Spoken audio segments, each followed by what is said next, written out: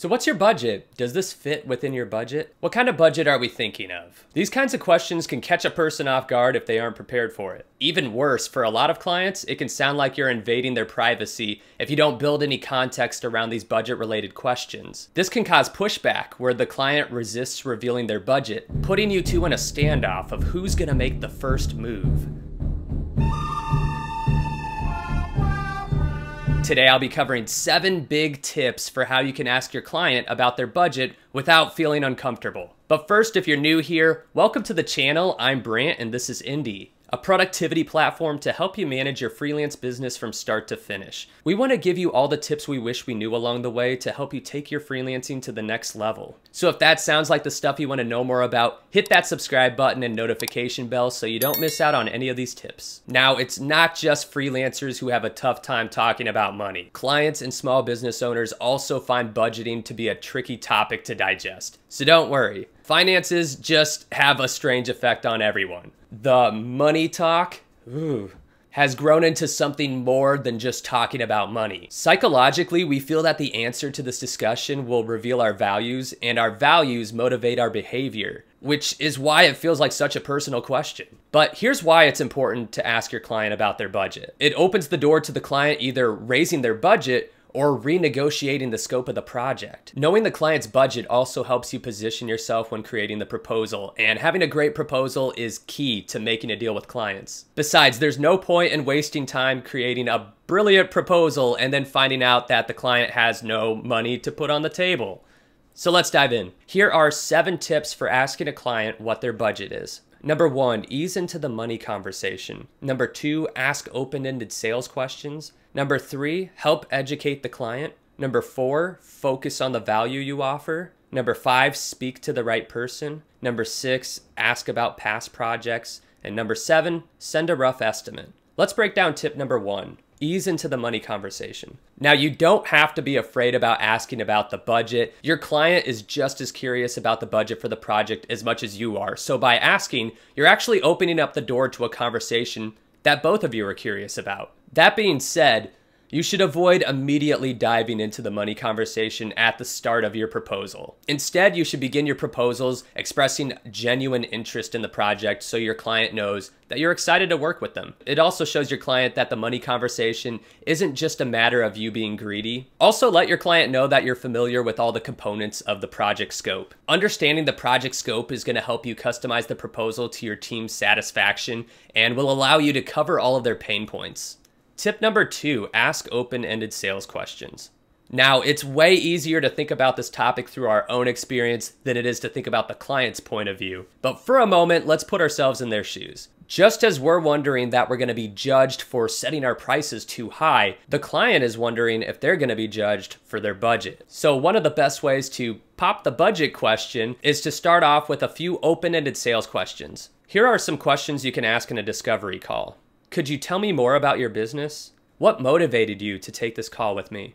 How long have you been in business? What are your business goals over the next six months? What are some of your expectations from my services? The number of questions you can ask are endless, but each question should help your client understand where your money figures are coming from. And as you begin to ask more open ended sales questions, you're gonna help your client feel a lot more comfortable talking about their budget range with you. You can even guide your client into this discussion with questions like So, what kind of project budget could we expect to work with? And explain why you need to know this information. You can say something like, This will let me know what I can do to meet your needs and what kind of timeline I have to work with, which gives your client a reason for why you're asking besides just wanting to know how much money you're gonna make.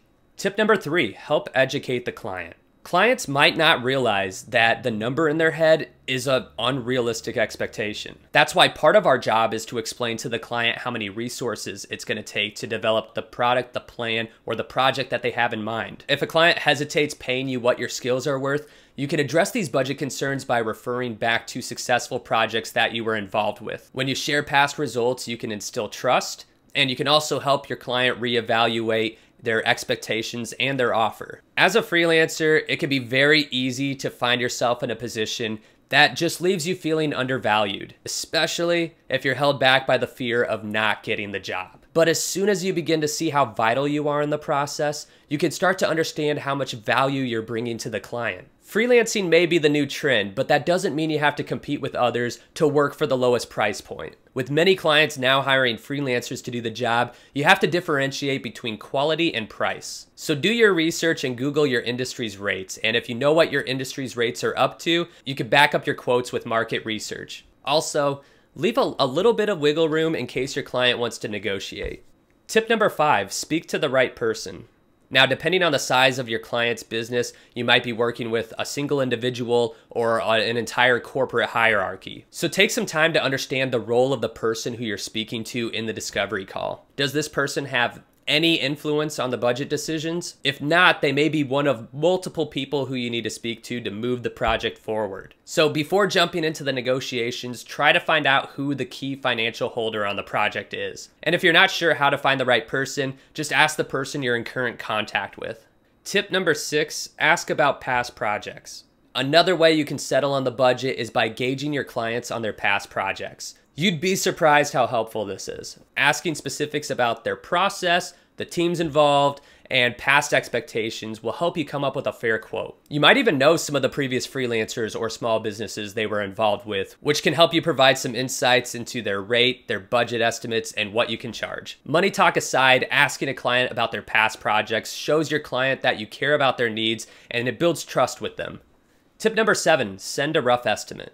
Now that you've walked your client through the sales process and you have a rough idea of what the budget will be, it's time to come up with an estimate for the project. By this point, you're either interested in moving the project forward or you're realizing that your visions just aren't aligning. But first, here's why you shouldn't give your prices over the phone. It's gonna be natural for your client to wanna ask you, what your prices are going to be. And it makes sense for them too. You've just been quizzing them about what their budget is going to be. So naturally, they're going to want to know what your prices are. While it's not a bad thing to give your prices out over the phone, you're going to have a much clearer idea of what your price quote should be once you take a little bit of time to sit down and really soak in the full scope of the project. So just let your client know that you need some time to explore the project scope further and that you'll get back to them by the end of the day. By doing that, you're going to take a fair approach to what these services are actually worth and take the pressure right off of feeling like you have to undervalue yourself and fear that the client is going to push back.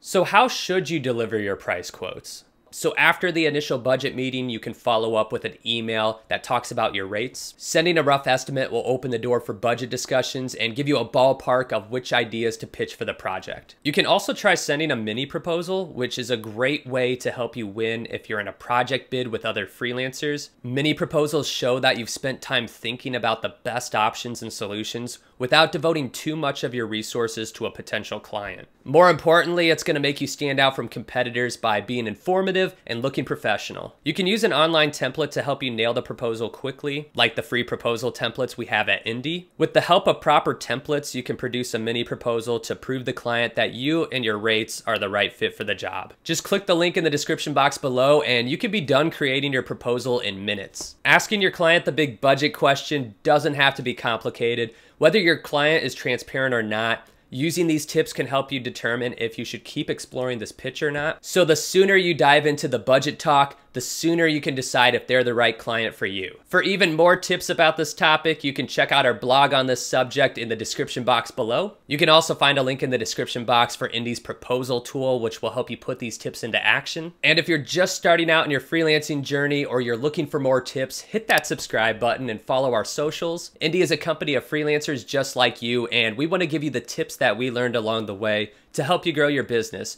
So let us know in the comments below what you want to know about, and I'll see you next time.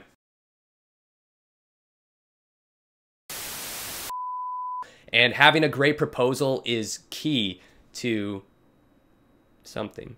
Making a deal with clients. Don't. Let me get a water. I need some water down my throat pipe.